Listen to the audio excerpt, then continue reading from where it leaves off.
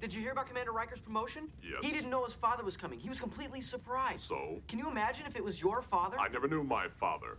And I didn't have a father long enough to know him. It is a waste of time to think of such things. I wasn't thinking about it, but everybody needs somebody. Enough!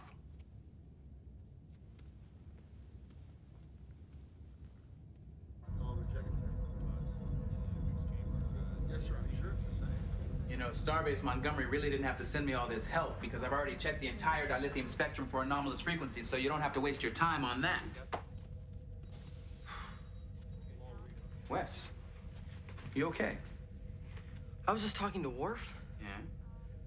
He's really eccentric at times. That's one word for it. He was really upset. I must have said something wrong.